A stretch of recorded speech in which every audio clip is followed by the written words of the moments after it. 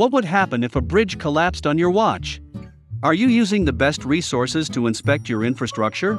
Robotic infrastructure inspection services use more quantitative data, fewer lane closures, which are safer for the inspector and traveling public, and make it easier to budget for maintenance and repairs.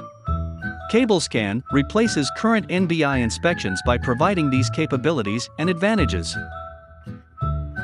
High resolution 1080i 60 frames per second video and 24 MP photographs.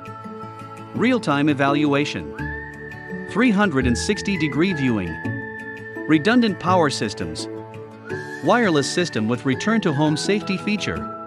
Exceeds NBI, AASHTO, and FHWA biannual inspection requirements for close visual inspection. Can navigate grout ports and other obstructions. Pinpoints and records the elevation of any anomalies and provides the deck horizontal distance.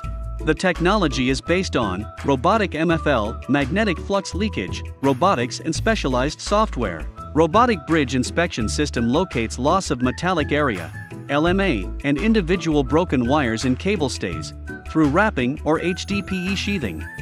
Locates and quantifies broken wires and loss of metallic area, LMA, wire break is detectable. Detection of LMA provides indication of moisture intrusion point or damage to wrapping or sheathing.